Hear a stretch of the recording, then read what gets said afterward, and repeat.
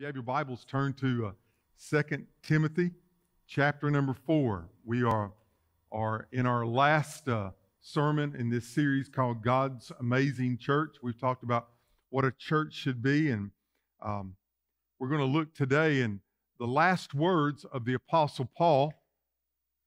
Uh, 2 Timothy was the last uh, book that he wrote. He was in prison awaiting what would end up being his death as he was beheaded there. Paul had a very unusual beginning to his ministry. He was a Jew. He was uh, taught uh, by in the synagogue school at Jerusalem. He was very much a, a high student of uh, Judaism there. And in such zeal to serve the religion, get that word religion, he was going around uh, capturing people who were followers of Christ, Christians, and was having them jailed, where they would be uh, sentenced for simply being a follower of Christ. Many would even be put to death. And he was going to Damascus to uh, find followers of Christ there, and that's where he met the Lord, was on the Damascus Road. And his life was never the same. If you've had a true encounter with God, you'll never forget it. If you've had a, an encounter with a holy God in the person of Jesus Christ, it changes everything. It changes your attitude. It changes your desires. It changes, can I say it this, this way? It changes your want to. And, and everything becomes about the Lord. And it, it adds new colors and, and vibrance to your life. And it, it brings joy to your living that's just so very, very special. Paul went on to write half of the New Testament. He was an apostle, we would say he was a pastor to the local church, the greatest church planter probably ever, as he would just go into like Corinth, the city of 100,000 people, and it was just Paul there going in. Maybe there was a couple other Christians that were there, but God did such a mighty work, it turned that city upside down. And, and really, can I read you Paul's resume?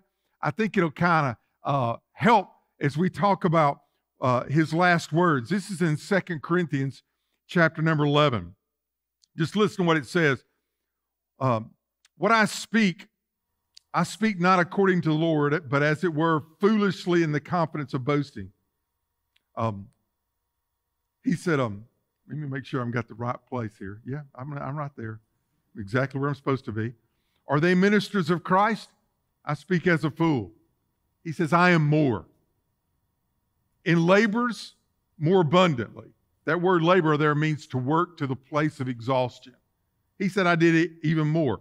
In stripes above measure, in prison and more frequently, in deaths often. This is his resume. He says, From the Jews, five times I received 40 stripes minus one. Three times I was beaten with rods. Once I was stoned.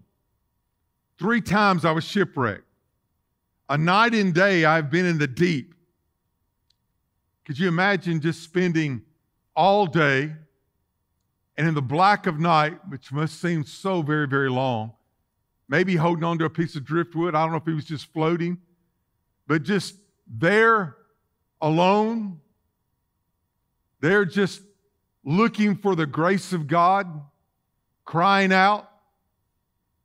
He said, in journeys often, in perils of water, in perils of robbers, in perils of my own countrymen, in perils of the Gentiles, in perils in the city, in perils in the wilderness, in perils in the sea, in perils among false brethren, in weariness, in toil, in sleeplessness often, in hunger and thirst, in fastings often, in cold in nakedness, literally not having sufficient clothes, just worn out.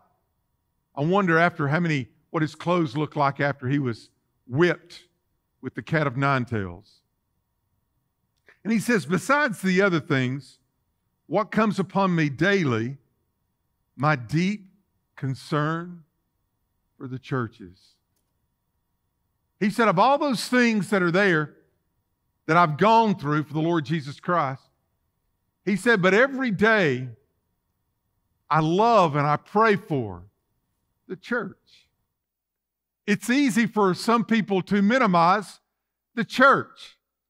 It's not just a, a lot of land, it's not just a building by the road, it's not just a place, it's people. But we are not, we, we are the, we don't lose Christ when we walk out the doors. We take Christ with us. but there's something special when God's people meet together in His name for His glory. The, the song of our, our, our heart being cried out, not just going through music. The words that come upon us, the moving of His Spirit in our souls, where nothing else could stir us, Christ stirs us. When we think of the goodness and the glories of God, it is out of that great love that Paul lived his life. It is out of that great love that we're going to look at these words today. If you have your Bible, turn to uh, 2 Timothy chapter number 4, verse number 17. If you would stand with me in honor of reading God's word as we look at this one little paragraph that we will highlight today. This is what God's word says. But the Lord stood with me and strengthened me so that the message might be preached fully through me and that all the Gentiles might hear. Also, I was delivered out of the mouth of the lion, and the Lord will deliver me from every evil work and preserve me for his heavenly kingdom. To him be glory forever and ever. Amen. Let's go to the Lord in prayer. Now, Father, I'm going to ask that you would once again, as we have come together in your name, Lord, in your heart, we ask, Lord, that you send your spirit to us.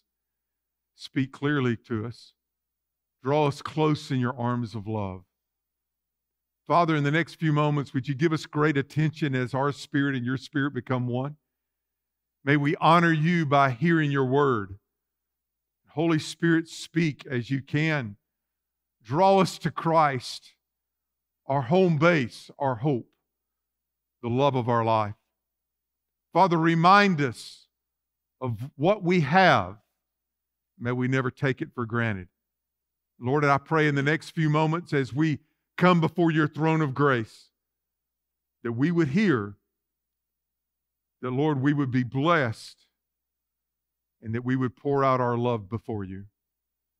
Father, only by you can we do this. Only through you do we stand. In Jesus' name I pray. Amen. Would you be seated? I want us just to quickly to look at this fourth chapter before we highlight this one little paragraph because I think it'll set the tone for what we need to look at today. When we get to verse 1, Paul says to young Timothy, I charge you. I believe we could say that through the infallibility of Scripture, that that's the same charge that if you're hearing my voice, I pray that you hear the Holy Spirit's voice because God has a charge for His church today. You, the people that are bound together in God's love. He said, I charge you therefore before God and the Lord Jesus Christ, who will judge the living and the dead at his appearing and his kingdom. Here's his charge preach the word. Now, I will preach the word this morning, but I'm not the only preacher. Everyone who knows the Lord Jesus Christ has a ministry and has a voice, has a testimony, and has a time where you can proclaim the goodness of God. The other day, as I was walking there uh, actually, as I was in a store and I was walking out and I saw a woman with two young children, and God just spoke to me and said, Speak to this young lady. Wherever you are, no matter what you're doing, we have the Holy Spirit with us. We have the ministry. We don't just have to get dressed up and put on church clothes, and we don't have to be carrying our Bible in our hands. Everywhere that we go, we are an ambassador for Christ. The word apostle literally meant called out one, but we have an opportunity to preach wherever we go. He said, Preach the word. Be ready. Be ready to say a word in season and out of season. When you do, convince, rebuke, encourage, exhort with all long suffering and teaching. For the time will come, I believe that time is today, when they will not endure sound doctrine, but according to their own desires, because they have itching ears, they will heap up for themselves teachers and will turn their ears away from the truth and be turned aside to fable. He said here that the time will come when they will not endure sound doctrine. I believe that their desires will dictate their doctrine. When it should be, our doctrine will dictate our desires. People are following their own desires and people are changing everything to fit them, and that's their doctrine. A lot of people are going to bow their knee to the world today, and that's a sad, sad fact. So they'll find somebody that will teach them and tell them that, that this world is their home and everything is about them. There's a lot of preaching today that does not stand up to the Word of God. There's a lot of preaching today that says if you follow God, you'll have all the money you want, you'll have no sicknesses, you'll have all this pleasure, you'll have all this joy. You know what? If, if Christ would hear, they'd try to preach that message to Jesus, but that won't work. He is worthy of our devotion. His truths are the ones that we need to tune our ears into. All the rest, sad that it is, all the rest will just fall by the wayside. And people who put their lives behind it will find out that it's shallow and empty and it really doesn't help. He says here to them, he, he gives even uh, young Timothy his admonition. He said in verse 5 Be watchful in all things, endure affliction. That means you're going to be going through it. You just have to remain under it. Do the work of an evangelist, tell the good news, fulfill the ministry that God has for you. Church, listen to me. Your great privilege is to fulfill the mission, the ministry God's given you. You need to find it. You need to know it. You need to wake up to it. You need to serve it. If you're not sure what it is, you need to find out quick. The whisper of the Holy Spirit will lead you in that right direction. This is the work of His church. He said in verse 7, I'm ready to go to heaven. Are you? He's in jail. He knows that any day could be the last day, but hear his words. Verse 6 I am already being poured out as a drink offering, and the time of my departure is at hand. He knows it. Other writings, he said, I, have got time. I, I, am here on purpose. I'd rather be there. Philippians 2. I'd rather be there, but I know God has me here. But here he's saying, my time, my time is short. My time of departure is at hand. I fought the good fight. I finished the race. I've kept the faith.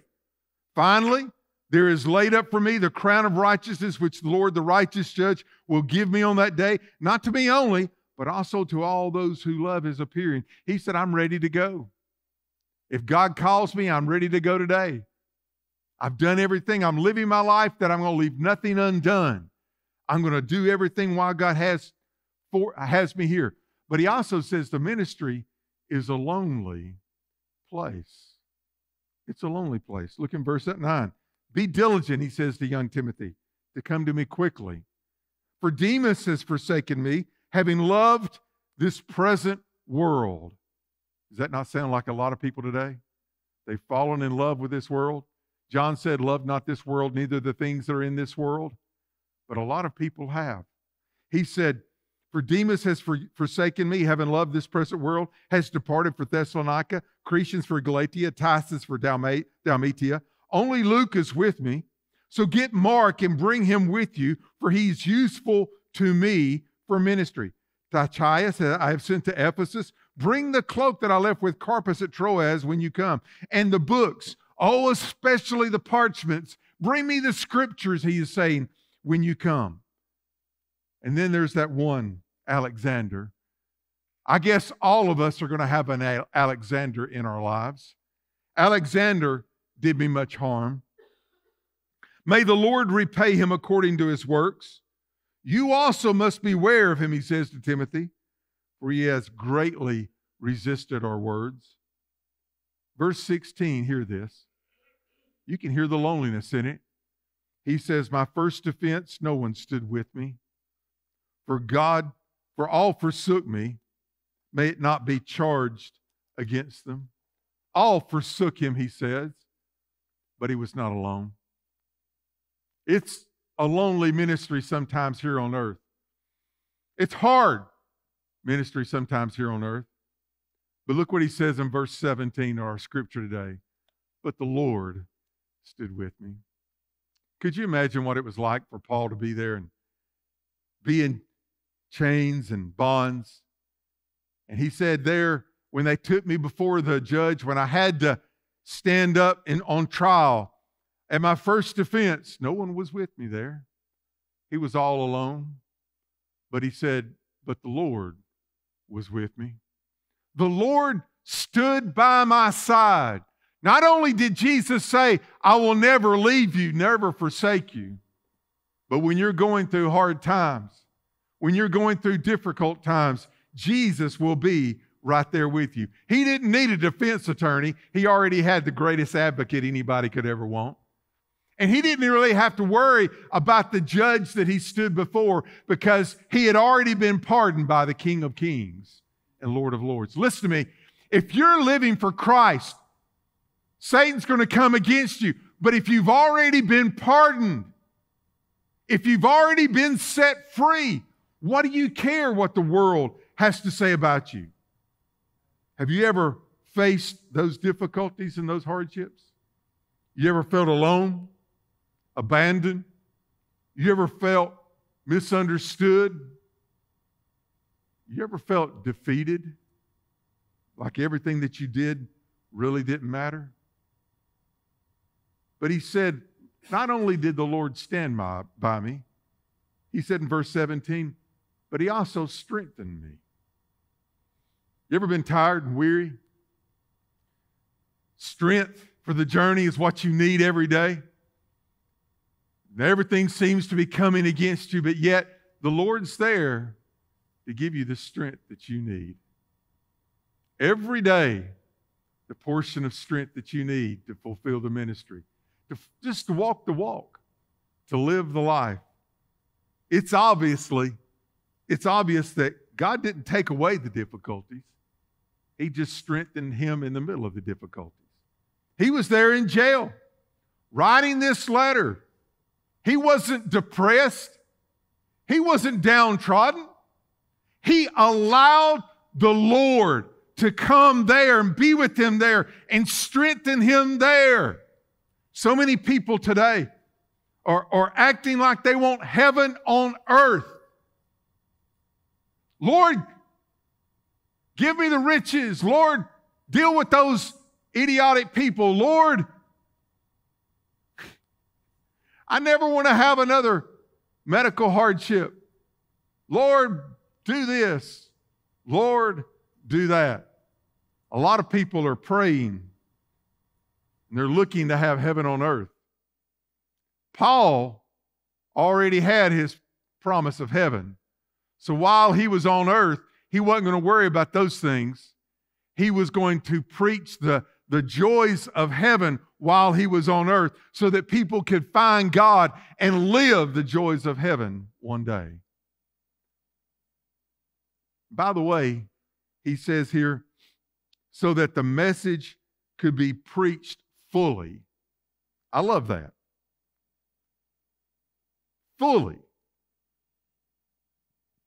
I want God to get the very best of me. I want God to get all of me. And I want to represent him every moment of every day. I was reminded this past week, Southern Baptist Convention, that we have to be on guard all the time. That there's going to be some temptations that come, there are going to be some difficulties that come. There's going to be, can I use this word?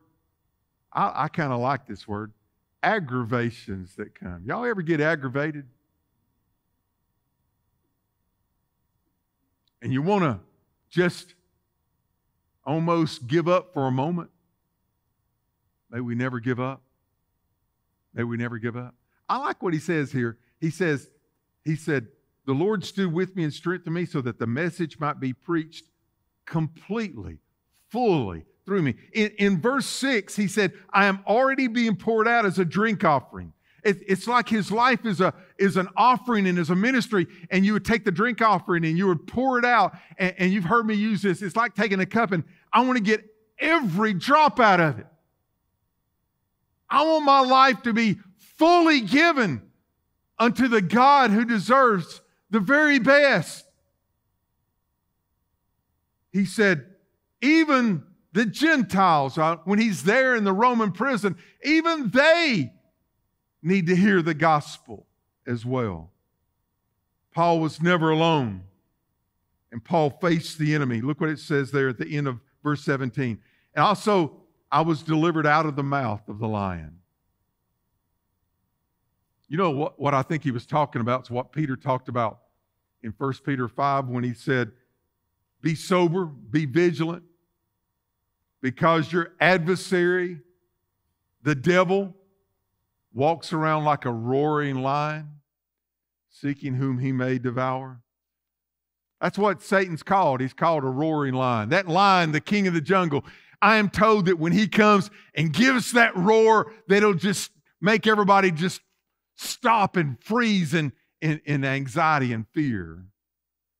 That's really what Satan likes to do. He's loud, but you know, the Lord's more effective with a still small voice. The Lord's not trying to scare you. He came to give you life and to give it abundantly. He came so that you can have His love and His peace overflowing within you. He takes away our fears. He delivers us from the enemy. I like here, out of the mouth of the enemy. Sometimes all Satan wants to do is roar his words May we not listen to Satan's words. May we listen to Jesus' words. He says here, I will deliver him from every evil work. By the way, Satan doesn't uh, stop attacking, he's always going to be attacking. Jesus just takes away the effectiveness of Satan's attacks. My, my great friend Jeff Freeman called me this week we were we were supposed to go to a concert on Tuesday together, and they changed it to uh, July 17th, and and uh, I said, well, can't do that. That's Vacation Bible School. I, I can't do that. They changed it to a Sunday night.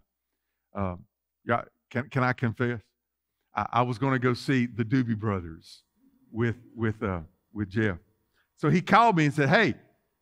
I got, I got tickets for us. We're going to go Friday night. We're going to go see Styx and REO Speedwagon and Loverboy.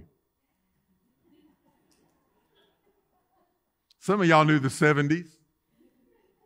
Uh, by the way, they've changed. I think Loverboy's gained about 80 pounds. He is fulfilling his ministry, I guarantee you that.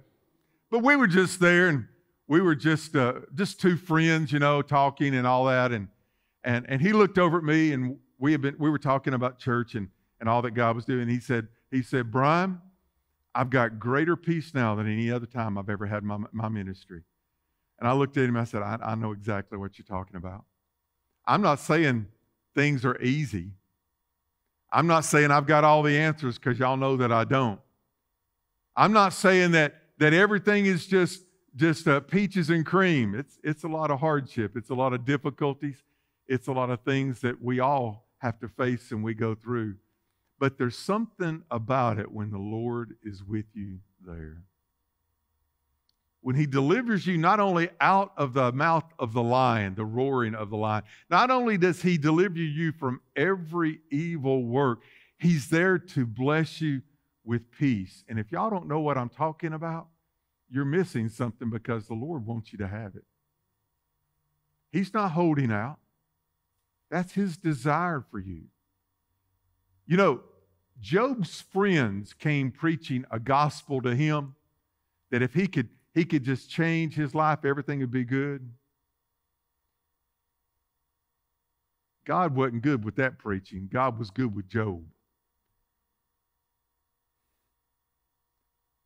And I tell you what, when the Lord comes, if the Lord comes today and he sees us in the midst of this immoral world that we're living in today, trying to live for Christ, trying to be faithful, trying to stay, stick with the stuff, trying when, when everybody else is wanting just things for the, the creature comforts of themselves, but yet we're, we're, we're seeking to be faithful to God in that time. And the Lord gives us peace. I want the Lord, when if He comes today, I want Him to know in my life, I'm doing my best to give Him my best. Every evil work, no matter what you're facing. I wrote in my notes here, listen to this. He's there with more power than this world has ever seen. Paul was not alone. Paul faced his enemy, but Paul was safe from his enemy. Look what it says here. He said, And the Lord will deliver me from every evil work. Listen to this now, and preserve me for his heavenly kingdom. The word preserve there means to keep safe, to save, to deliver, to protect. In the midst of a, a cold underground jail cell where just a little bit of light is coming through the skylight up there. Jailed, chained to Roman soldiers on both sides. In that place, he said, He is preserving me safe and secure. There's no safer place than in the arms of God, in the will of God, on the way to see God. Paul had many wonderful moments. I think about when Paul and Silas were in jail there at Philippi. There they were, they had been beaten, their backs were bleeding. They just said, you know, it would be a good time for us to have a church moment.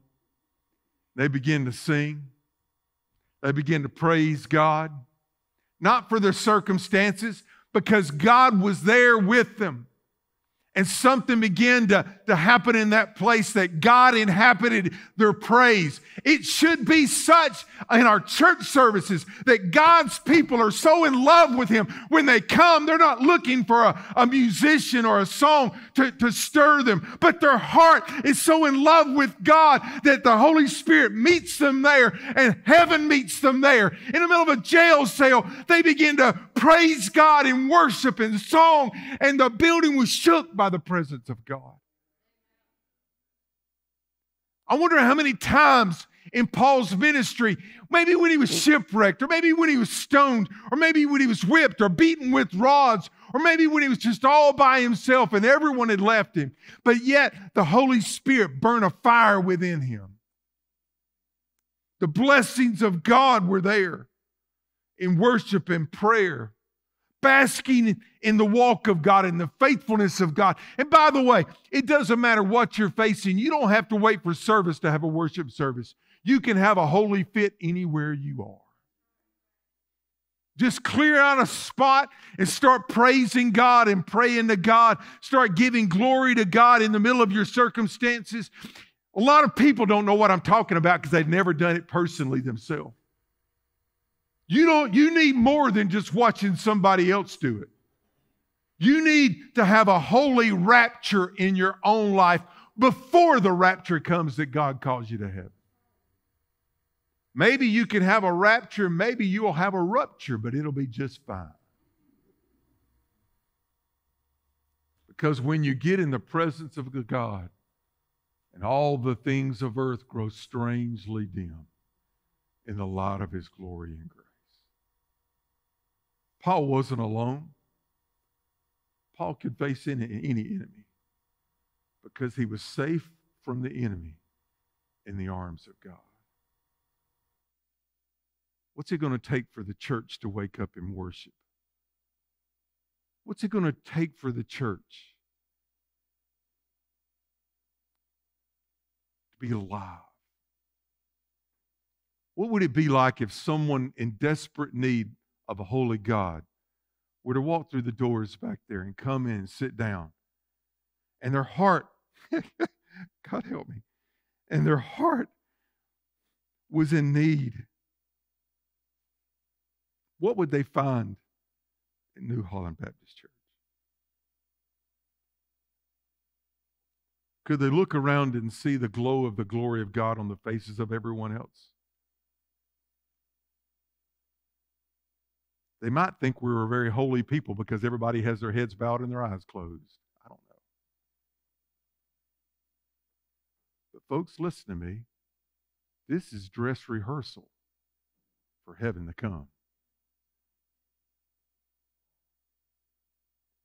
If you can't find the Lord here, don't miss him there.